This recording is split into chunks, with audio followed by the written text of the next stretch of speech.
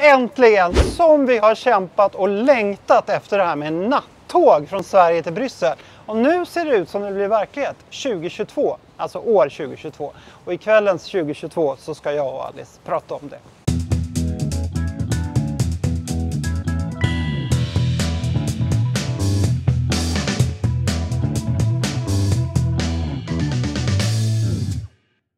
Det känns nästan smått och overkligt att de första stegen mot en konkretisering av nattågen mellan Sverige, Köln och Bryssel faktiskt är på gång. Ja. Det händer. Och det här är så viktigt för oss eftersom inte vi flyger. Jag älskar visserligen att åka tåg men ibland blir det lite väl långa tågåkningar från Sverige. Det tar- 24 timmar ungefär. Ja men precis, det tar 24 timmar och det är många byten.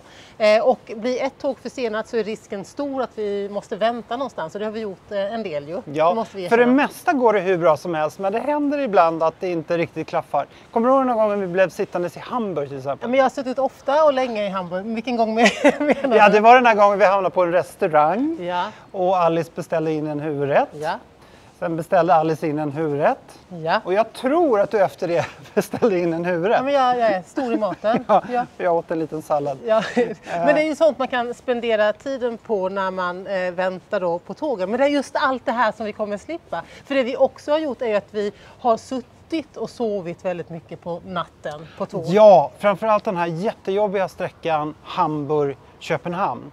Det är verkligen den som är den stora flaskhalsen. Och det är där som vi kommer få sån tidsvinst och, och ja, bekvämlighetsvinst också med nattågen som nu då planeras att gå från Malmö till åtminstone Köln, kanske he hela vägen hit till Bryssel. Ja. Och vi är ju därför nu på Midi, den stora centralstationen här i Bryssel för att eh, fira detta och ringa upp honom för att ja, helt enkelt säga vad han, fråga honom vad han har att säga. Hur känns det Jakob? Det känns fantastiskt. Äntligen kommer man kunna ta nattåget från Sverige ut på kontinenten igen. Det som man kunde för länge sedan kommer man nu äntligen kunna igen. Underbart. Hur tänker du att vi ska fira det här då? Jag tänker skicka blommor till Trafikverket och uttrycka min glädje för att de äntligen går oss eh, till mötes och se till att det blir lätt för människor att välja det hållbara resealternativet igen. Ja, hur många gånger har du åkt egentligen den här sträckan eller ute i Europa? Ja, så jag har ju tågluffat ut i Europa sedan jag var liten knåt ända första gången när min pappa tog med mig på en, en eh, tågluff ner till Spanien. Och sen så, jag var engagerad i European Young Greens 10-15 år sedan. Då åkte man ju ner till Bryssel flera gånger om året med tåg. Eh, och på den tiden fanns det ju nattåg från eh, Köpenhamn till Köln och då var det väldigt lätt. Men efter att det nattåget lades ner så blev det krångligare igen. Men nu blir det lätt.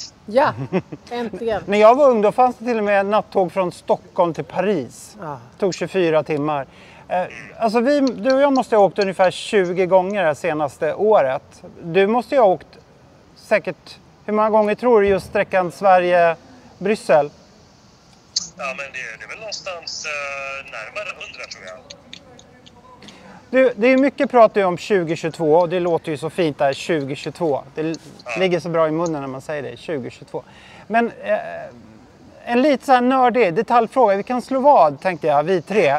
Vilken månad 2022 tror du att du för första gången eh, kan åka nattåg från Sverige hit till Bryssel? Jag tror att det blir till eh, påsk 2022. Ja, så jag, jag tar i lite, jag säger februari. B- första veckan i februari. Ja, då kanske jag är mest försiktig då. I alla fall för min egen del skulle jag tro att det blir nog först i maj. Men vi får se. Ja, Vi har mycket att se fram emot. väldigt mycket. Vi ses snart, vi hörs. Ja, ha det, Ha det bra. Hej! Hej, hej.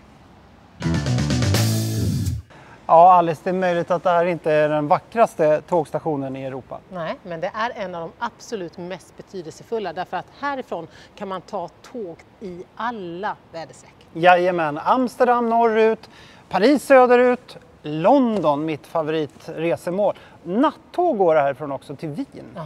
Nej, men det är fantastiskt. Kan inte vi bara gå in och känna lite på atmosfären och drömma oss bort? Jag drömmer mig bort till, till London tror jag. Ja, jag, jag kan drömma om alla gånger vi har åkt tåg härifrån tillsammans. 哈 哈